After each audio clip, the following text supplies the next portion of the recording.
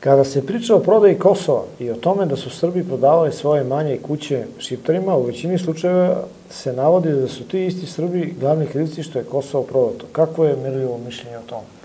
Pa nisu Srbi, ti Srbi sa Kosova glavni krivci što, se, što je Kosovo prodato, nego ta srpska kvazi elita koja nije brinula o narodu, jer nisu Srbi sa Kosova prodavali svoje imanja zato što su hteli, nego zato što su morali. Morali su da spašavaju žive glave i tu nema ništa sporno. Bolje da spasiš živu glavu i da napustiš dedovinu, dedovina možda se vrati. Razumeš? Pa kako ako je prodate, kako se vrati? Prodata pod pritiskom. To nije prodato.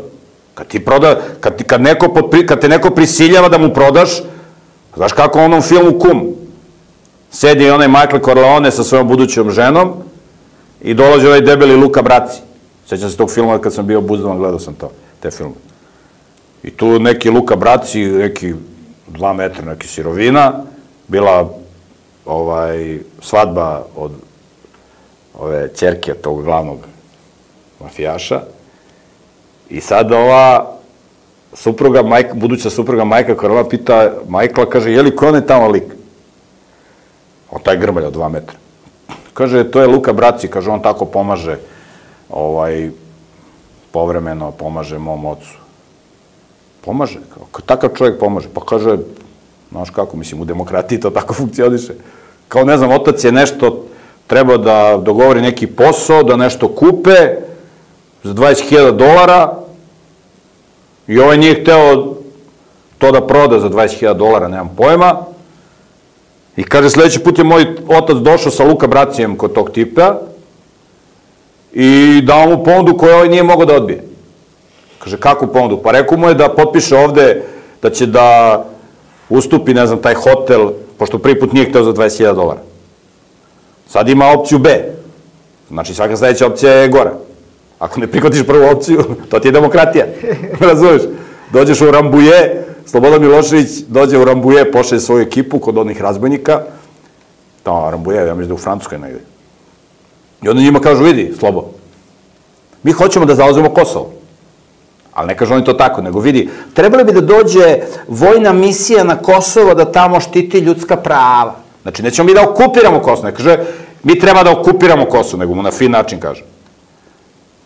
Treba dođe vojna misija da nadgleda ljudska prava na Kosovu. Znači da dođe kvor koji će da podrži, koji će da štiti šiptarske teroriste da mogu da maltretiraju Srbe. U prevodu. I Slobo Milošević i ovi kažu, evo, ovi nude to. I Slobo kaže, odbite to. Odbite, dobro, važi. Ima opcija B. Znači bombardovanje. Bam, bam, bam, bam, bam. I posle Milošević prihvati to što su oni nudili u Rambujevu. Samo pod mnogo gorim uslovima sad. Sad su ti izbombardovali državu. Znači, po vam bolje da je prihvatio ovo? Pa bolje da odmah prihvatio kad je bio u toj situaciji. Ali to bi onda bila izdaja. Razumeš? Pa zašto nije to i zašto da kaže javno? Nije, Šta? Pa ne može da kaže, ja da ti to objasniš polupanom narodu koji je ono ostrašnje nacionalno. A to stvarno ne može u praksi, recimo. Da se desi ovo i predsjedniku Vučiću, da Šta? postave takav ultimatum. Šta je on bi morao tako u zavljene Pa ne, on, ali znaš kako, oni, oni, kad, oni kad te stave pred takva ultimatum, oni ti kažu kako ti da izađeš pred narod da se opereš. Ali oni su išli svesno da sruše i Miloševića, da ga ponize, jer su imali ovde svoje igrače, Đinđića, Koštunicu, Tadića i ove izdajnike, razumeš? Mislim, većina njih su bili ispranih mozga. Koštunica je ispran mozak. On je mislio da radi ispravno za Srbiju. Evo sad je u mišoj rupi, ne, ne, ne sme nigde da izađe. Mesto da izađe da se izvine za to što je radio. On sad smrdi tamo negde u nekoj mišoj rupi. E tako, razumeš, dođe i kaže, došao, moj, kaže, sledeći put je moj tata došao sa Luka Bracijem, Pošto ovaj prvi put nije za 20.000 dolara teo da, mu, da im proda hotel ili ne znam šta je bilo. I onda mu je rekao, vidi, sada, sada ćeš da nam daš, ovde je papir da ti nama ustupaš hotel. Razumeš? Ne, bio je ugovor za pevača. Ili ne znam, ugovor za pevača, ne znam šta je bilo nešto. I sad na, na ovom ugovoru će da stoji ili tvoj potpis ili tvoj mozak. I ovaj kaže, Luka Braci izvadio pištolj. E, to ti je demokratija. To tako funkcioniše, bato. I pazi, to je izbor pred kojim ćemo sutra svi da budemo. Mnogi, mnogi su i danas. Ili ćeš da budeš satanista, ili ćemo te likvidiramo. To deca u školama, u debilanama. Ili ćeš da pušiš, da piješ, da, da se drogiraš, da ovo, ili ćemo da te maltretiramo. ko tebe da štiti? Nemaš oca da te štiti, jer te otac tera u debilanu i majka polupana. Moraš u školu, moraš, moraš. I tebe oni teraju mečke na ruku. Razumeš? E, ja sam izdivergirao, pitanje je bilo Da su prodavali svoje manje Da, kuće. znači, i sad ti dođeš, dođu, dođe okupator, dođe Turci, Srbi se bore protiv Turaka, a Šiptari lojali Turcima. Razumeš? Ispadaju oni pametniji. Pa nisu oni pametniji, oni su se, oni su se uvlačili Turcima. A Srbi su mogli da budu lojalni Turcima, kao jevreji. Dobar dan, dobar dan. Selam aleikum. Dolazi, dolazi turski paša sa ekipom. Razumeš? Ti da ga ti... Dolazi sila, brate. Nećeš Boga, dolazi sileđija. I to ti Bog šalje mirnog sileđiju. Turke. Ti dođu jezuiti, bato. Rimski papa. Krstaši. Znaš šta su radili krstaši? Sve spale, bato. Sve. Nema priče. Spali, bato. Kaj priče, brate? Nisi hteo da pređeš u katolicizam, sad ćemo te spalimo. Jasenovac. Turci nisu pravili Jasenovci. To samo pravi rimska crkva. I lomač, inkvizicija i tako dalje. I dolazi, tur, dolazi turska ekipa, dolazi, razumeš? I onda, ti si imao naselja u Srbiji, ima istorijski, možda čitaš. Izađe kmet sela ili guverner neke oblasti, selam alaikum, pozdravi Turčina, alaikum selam. Znamo mi da ste, ko ste vi, vi ste došli ovde, Bog vas je poslo. Tako je govorio i ovaj jedan rabin, ima tamo u prvom veku, u drugom veku, pronađena je bila neka pećina gde su nađeni veliki skeleti nekih hamaličana, koji su jevreji razvalili hiljadu i po godina pre toga.